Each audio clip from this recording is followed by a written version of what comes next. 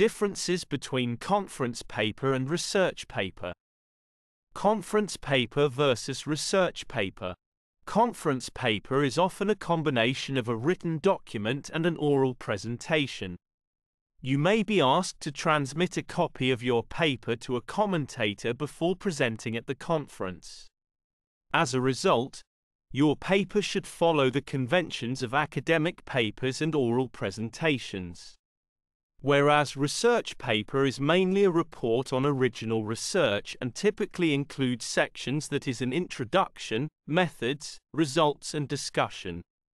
Conference paper is a document which is presented in a scientific or academic conference by sharing research findings whereas research paper is a formal document presenting original research findings, analysis and conclusions. The purpose of conference paper is to present research and receive feedback, whereas the purpose of research paper is to contribute new knowledge and share results of research. Conference paper offer a preview of work, the researcher wants to present to let others in their field know about it and solicit feedback that could generate ideas for improvement. Whereas research paper offers an extended edge to the formal research work.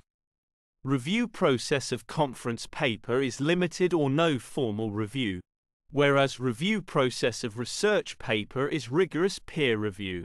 Conference papers are published in conference proceedings, digital or print whereas review papers are published in scholarly journals. Kindly subscribe my YouTube channel Thesis Helper. Thanks for watching.